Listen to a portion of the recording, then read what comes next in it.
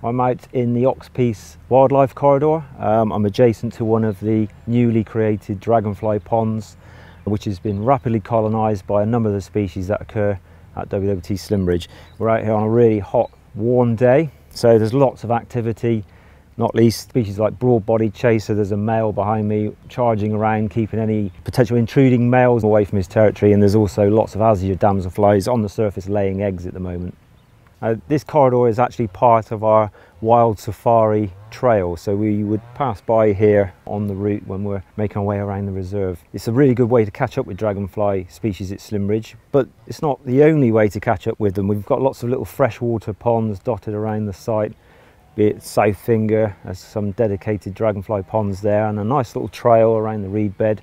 But dragonflies occur pretty much everywhere. They're not always associated with water. They do drift off. You find them in the hedgerows, in the fields, pretty much anywhere you can encounter them on sites. But certainly the wild safaris are, are the best way to catch up with a, a, good range of species.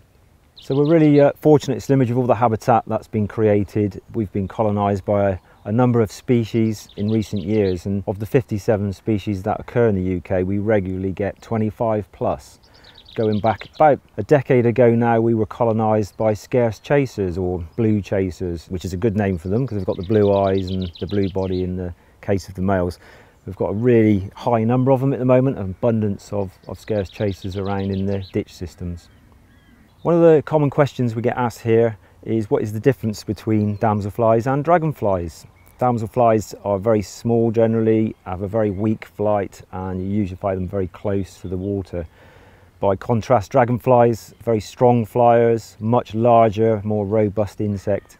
They hold their wings at right angles to the body. When they're perched up and they're sort of basking, you find them with their wings out like this, whereas the damselflies, the wings are generally in line with the body. There is an exception.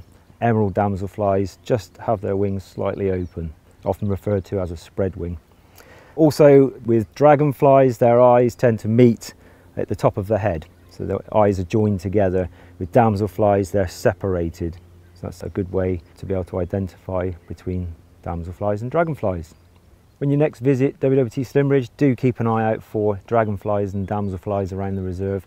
Very, very good chance you're going to connect with them somewhere. Look at the various ponds, check the hedgerows, the ditches, they can be anywhere.